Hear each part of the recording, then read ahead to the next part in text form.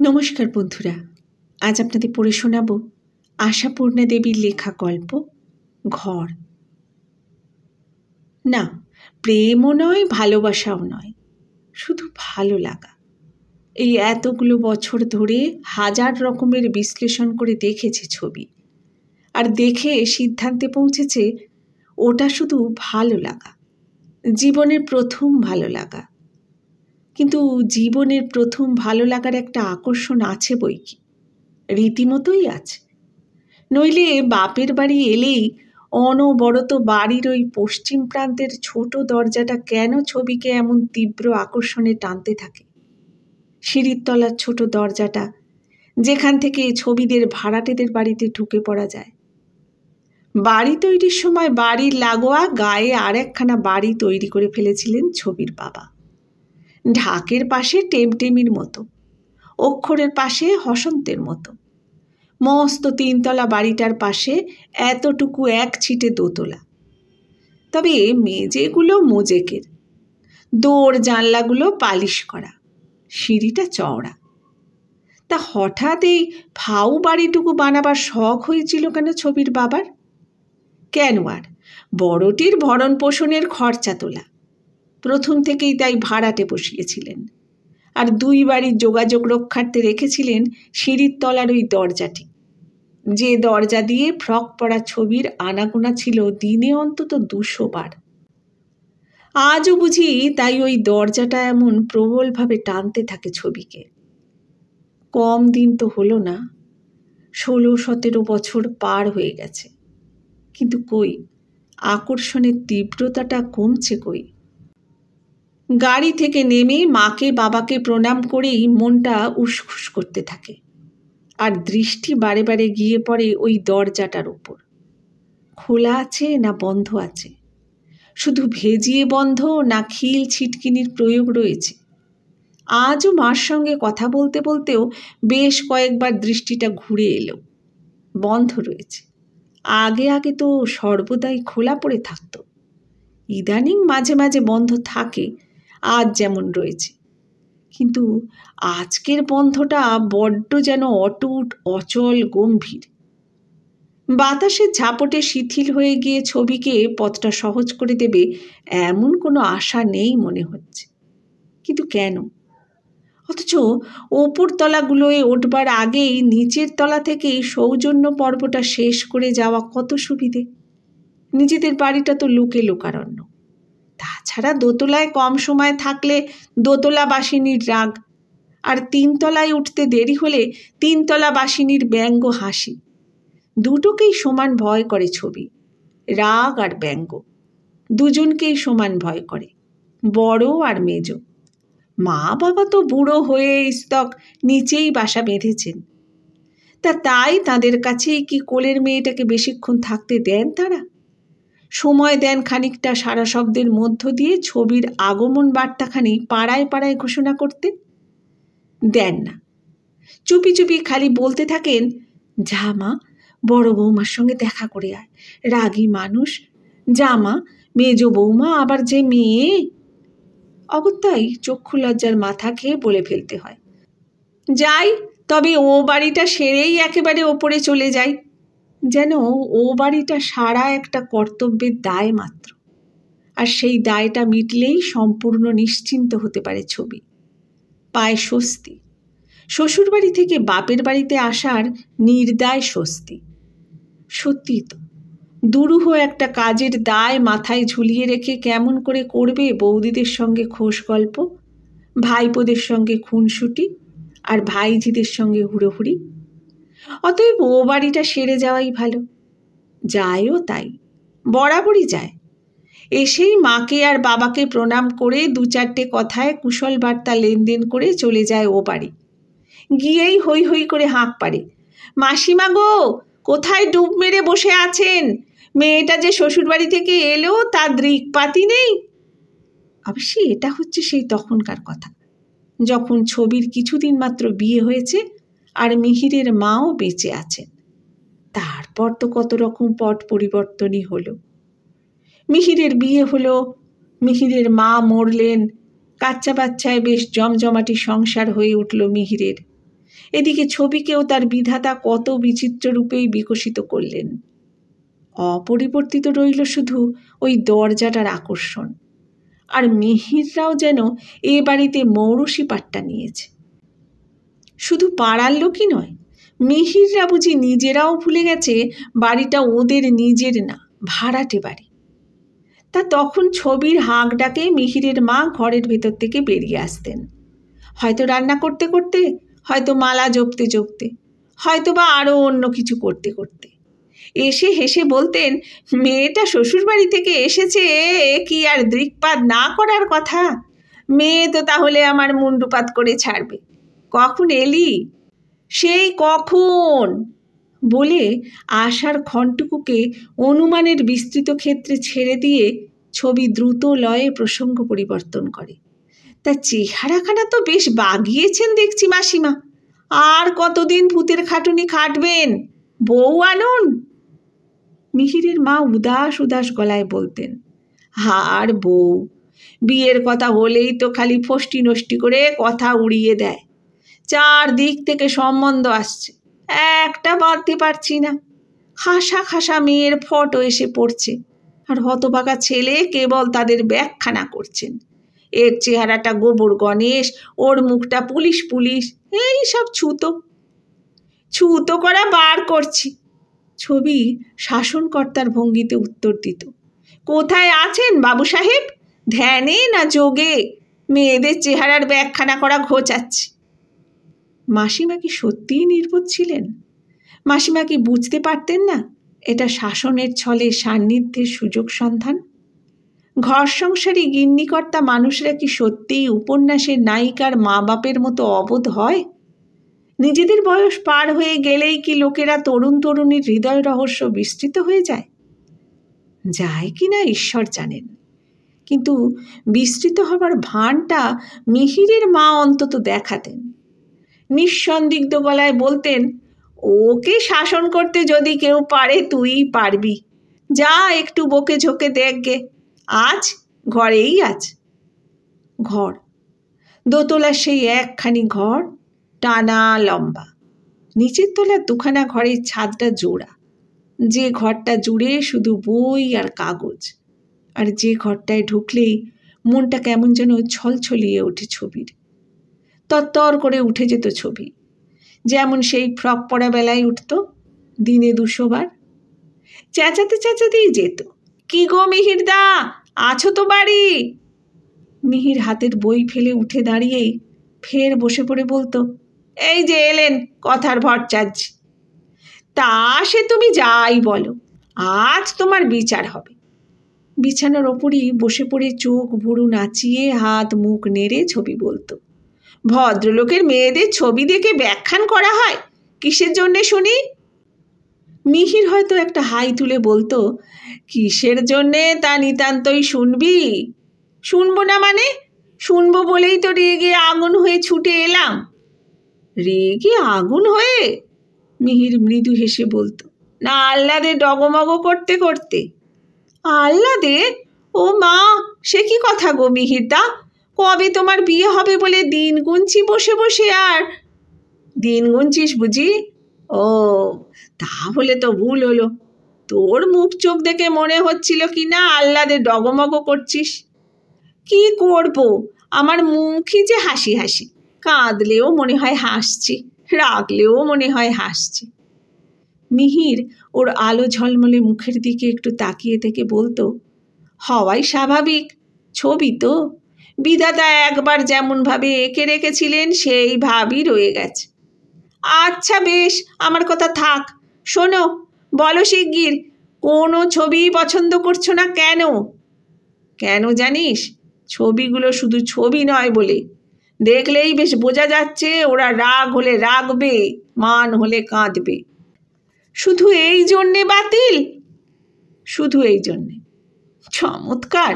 এ শুধু একজনকে লজ্জায় ফেলে রাখা। লজ্জাটা কিসের? তার বর উঠতে বসতে খোঁটা দিচ্ছে তাকে। তোমার কারণে একটা সোনার কার্তিক ছেলে সন্ন্যাসী হয়ে রইল। তাই নাকি? এমন খোঁটা খেতে হয়? গুমরে অহংকারে তার তো তাহলে ল্যাজ, ইয়া মোটা হচ্ছে বল। বটে, ল্যাজ? বাংলা ভাষা এমনই দিন যে ওর চাইতে একটু সভ্য শব্দ খুঁজে পেলে না। পেতে পারা অসম্ভব ছিল না, তবে কিনা ঠিক অমনটি জুৎসই হতো না। ওইসব গ্রাম্য ভাষাগুলোতেই দেখছি তোমার ভারী জুত। আর যত ফ্যাশন, কোণে পছন্দের বেলা। শিগগির যা হোক একটা কিছু মিটিয়ে ফেলে বলছি, মাসিমার কষ্ট আর দেখা যায় না। হুম, তাই নাকি? ছেলের চেয়ে বঞ্চিত দরদ, কদিনের জন্য এসেছিস? কুললে দুটি দিন। একটা দিন তো এখানেই কাটালি। যা পালা। বৌদিরা নাক নাড়া দেবে। ভয় করছে? মুচকি হেসে বলতো ছবি। হ্যাঁ তা করছে। তোর মেজ বৌদির রহস্যাচ্ছাদিত মুখখানি মনে পড়ে ভয়ে হাত পা পেটের মধ্যে ঢুকে যাচ্ছে। আমারও। তবু দিব্যি বসে আছিস? ওই তো জ্বালা। যাই, উঠি। এই দুদিনের মধ্যে আরও বার দু চার জ্বালাতে আসবি তো? মাত্র দু চার সই দিতে পারছি না। বেশি হয়ে পড়াই সম্ভব।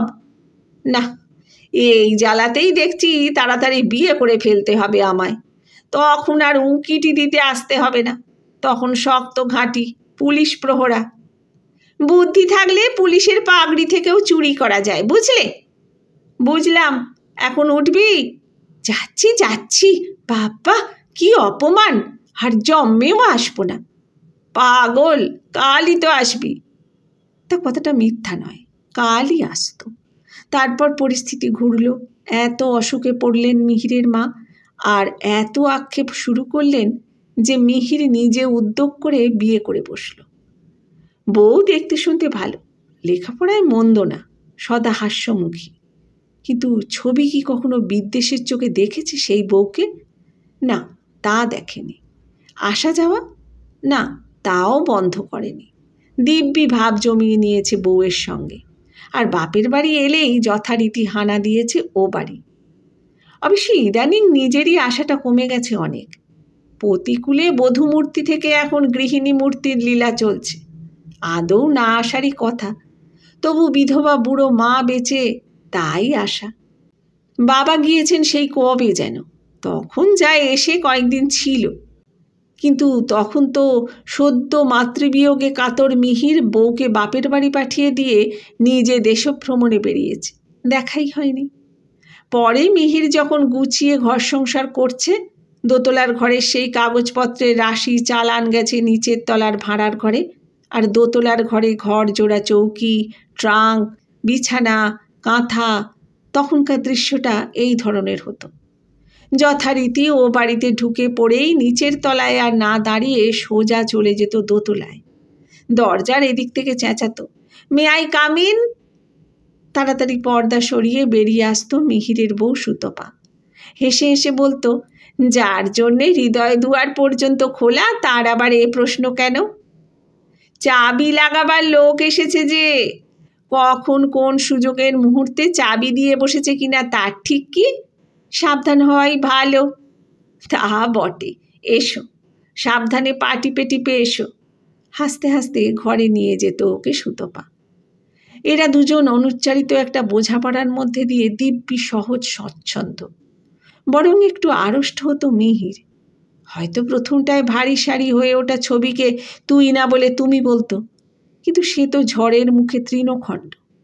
ছবির কথার ঝড়ে কোথায় উড়ে যেত সেই আড়ষ্ঠতাটুকু। পা টান টান করে খাটের ওপরই বসে থাকতো ছবি। আর অজস্র কথা বলতো, আর হয়তো বলতো, না, মিহিরদা, বউকে এখনও লোক লৌকিকতা শেখাতে পারোনি। এই যে একটা কুটুম্বদের বউ এসে বকে বকে গলা শুকোচ্ছে, তাকে এক পেয়ালা চা অফার করবে তো? সুতপা মৃত্যু হেসে বলতো, কেন? আর একটু সুবিধে হয় তাহলে, কেমন? মিহির হাসত। বউর দিকে তাকিয়ে বলতো, তোমার মতো একটা তুচ্ছ প্রাণী ওর অসুবিধে ঘটাচ্ছে, এই তোমার বিশ্বাস নাকি? নিজেকে কে কবে অত তুচ্ছ ভাবে বলো? সরে গিয়ে তোমাদের সুবিধে করে দিলাম, এটুকু ভাবতেও আত্মপ্রসাদ আছে, বলে হাসতে হাসতে চলে যেত সুতপা। মেয়েটা কি গো? হিংসের বালাই নেই, বলতো ছবি। মিহির ওর চোখের বাতাসে আর কৌতুকে কাঁপা বড় বড় পল্লবগুলোর দিকে তাকিয়ে বলতো, হিংসার কিছু থাকলে তো হিংসা হবে। কিছু নেই, একেবারে কিছু না। কেউ কি সন্ন্যাসী হয়ে বেরিয়ে গেছে না বিরোহী যজ্ঞ হয়ে বসে বসে নিঃশ্বাস ফেলছে? সেই তো দুঃখ। হলে ভালো হতো, তাই না? ভীষণ। তারপর? কথার পিঠে কত কথা। জীবনে যত কথা কওয়া হয়, কেউ তার হিসেব রাখতে পারে? তারপর চা খেত, খাবার খেত, এ বাড়ি থেকে ডাক পড়লে চলে আসতো। বড় ভাজ বলতো, এ সেই ও বাড়িতে ছুট, এ আর বদলালো না তোমার। ছবি বলতো, স্বভাব কখনো বদলায়? মেজু বৌদি মুচকি হেসে বলতো, খুব যা হোক দেখালে বাবা, শ্যাম, কুল দুই বজায় রাখলে। ছবি বলতো তাহলেই বোঝো, তোমাদের চাইতে আরও কত বেশি আমার ক্যাপাসিটি মা বলতেন, সর্বদা ও বাড়িতেই বা ছুটিস কেন বাপু? মিহিরের বউ তো বিরক্ত হতে পারে। ছবি বলতো, বাড়িতে অতিথি এলে মানুষে বিরক্ত হয় না মা, জন্তুতে হতে পারে। তা জন্তুর বিরক্তিকে কে মানে? মা হাত উল্টে বলতেন, কি জানি। সত্যি মেয়েকে তিনি ঠিক বুঝতে পারেন না ভক্তিও পারেন না। বয়সের ব্যবধান অনেকটা, শেষ বেশ কোলের মেয়ে। তা সে ধরনের দিনটাও গেছে। এখন মিহিরের ছেলে দুটো কথা শিখেছে, ডাকতে শিখেছে। গাড়ি থেকে নামতে দেখলেই ছুটে আসে পিসি পিসি করে। ঝুলে পড়ে হাত ধরে। উদ্ঘাটন করতে চায় পিসির উপহারের সম্ভার। আগে ওদের বাড়িতেই নিয়ে যায় টেনে। এখানে ভাজেরা বলা বলি করেন। নিজের ভাইপোদের চাইতে দামি খেলনা, দামি খাবার, কিন্তু ছবি ও সব ইঙ্গিত গ্রাহ্য করে না। কিন্তু আজ আর ছুটে আসেনি ওরা, মিহিরের ছেলেরা। আজ ওই দরজাটা কড়া করে বন্ধ। বাতাসের ঝাপটে খুলে যাবে এ ভরসা নেই। বন্ধ সে তো দেখা হয়ে গেছে, তবু চোখ বারে বারে ওই দিকে ছোটে। মা বলেন ছোট বাড়িখানা আমার নামে ছিল, সে তো চিরকালের জানা। কি বল, জানতিস না ছবি? ছবি মাথা নাড়ে। শুনে এসেছি তো তাই। তবে আমার নামে ট্যাক্স, আমার নামে সব, এখন সেই কথা তুলেছি বলে তোর দাদা বৌদির যে খুব গোঁসা সে কথা তোলবার কি হলো? ওই যে বলেছি, বাড়িটা আমি বেঁচে থাকতেই তোর নামে লিখে দেব, তাই। আমার নামে? তবে আবার কি? মাতৃধনে মেয়েরই অধিকার। এমনি পাবার কথা। তবে নাকি দিনকাল খারাপ, তাই একেবারে পাকা পাকাপাকি দানপত্তর করে ফেলতে চেয়েছি, তাই। তা ও বাড়ির দরজাটা বন্ধ কেন? সে আবার আর এক কীর্তি। ছেলে ছেলে ঝগড়া। মিহিরের ছেলে বুঝিয়ে আমাদের মনুকে মেরেছিল। মেজ বৌমা রেগে আগুন হয়ে দরজাটা ইস্কুরু পেটে দিয়েছে। চমৎকার। তা কেউ কমও যায় না। বাড়ি খুঁজতে বলা হয়েছিল বলে মিহিরের বউ বলে কি না আজকাল কি আর বাড়ি পাওয়া যায় মাসিমা? আর এত সস্তায় এমন বাড়ি এখন পাবই বা কোথায়? দেখছিস বেইমানি? সস্তার কালে ছিলি বলে চিরকাল সেই সুখ ভোগ করবি? ছবি এত কথার পিঠে শুকনো শুকনো গলায় বলে, মিহির তাকে উঠে যেতে বলা হয়েছে? ও মা উঠে যেতে বলব না। তোর বাড়ি তুই ভোগ করছিস, এটুকু দেখে যদি মরি, তবেই না আমার দেওয়া সার্থক। পাঁচজনের সংসারে একখানা ঘরে মাথা গুঁজে পড়ে আছিস। তা সত্যি বটে। সেই পড়ে থাকার বিরুদ্ধে সর্বদা বিদ্রোহ করছে ছবি। অহরহ ছটপটাচ্ছে কেবলমাত্র একটুখানি আস্তানার অভাবে কিছুই হচ্ছে না। একটা বাড়ি পেলে এখনই সব জ্বালা মেটে। বাড়ি পাচ্ছে সে, সত্যিকার পাওয়া। আস্ত একখানা বাড়ি। কি আশ্চর্য! মা তো আগে কোনো দিন বলেননি।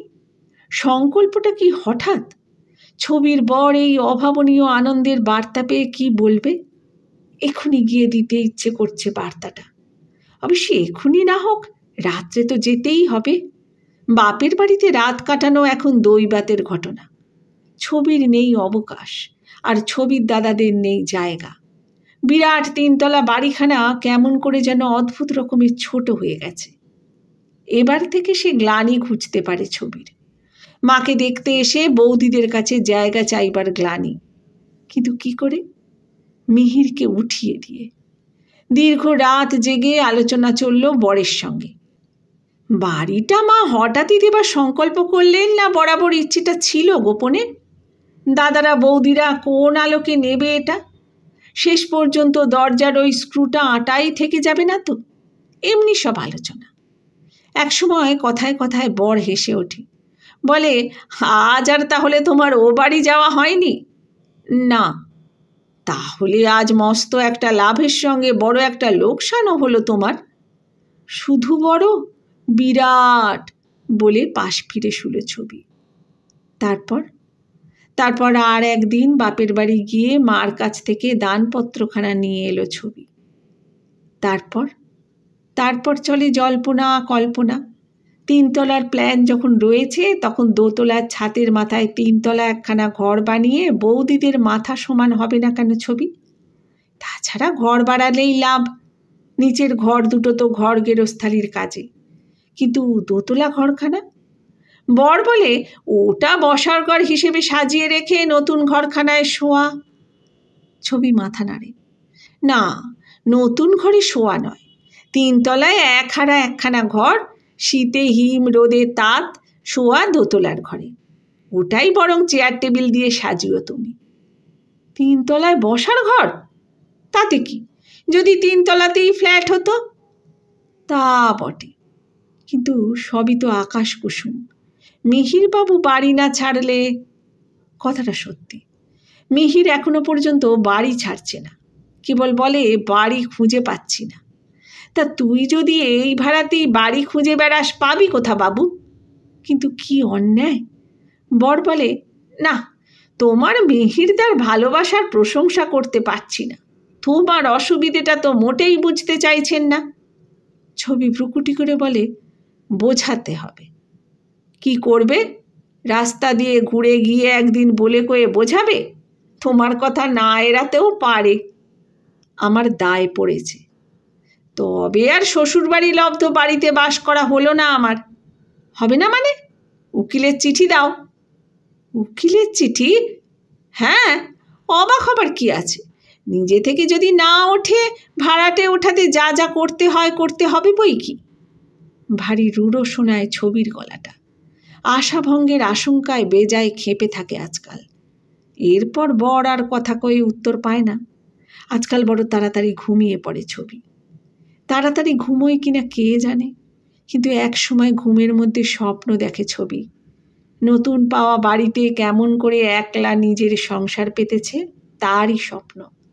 কেমন ছিমছাম, ফিটফাট, কেমন সাজানো গুছানো সুন্দর। পাঁচজনের সঙ্গে মাথা গুজে থাকা নয়। নিজের মনের মতো করে ফেলে নিজের জিনিসপত্র দিয়ে যেভাবে সাজিয়েছে ছবি, সেই ছবিটাই স্বপ্নের মধ্যে বারবার ঝলসে ওঠে। সেখানে ছবির বহু লীলা। এই এখানে ড্রেসিং টেবিলের সামনে চুল বাঁধছে, তো ওই ওখানে জানালার কাছে বেতের চেয়ারে বসে উল বুনছে, এই এখানে টেবিল ঝাড়ছে, তো ওই ওখানে খাটের বিছানায় হাত বুলিয়ে বুলিয়ে চাদর পাচ্ছে। কিন্তু কিন্তু ঘরের এখানে ওখানে বিছানায়, চেয়ারে আরও যে একজন ছায়া ফেলে ফেলে ঘুরে বেড়াচ্ছে, সে কেন মোটেই ছবির বরের মতো দেখতে নয়?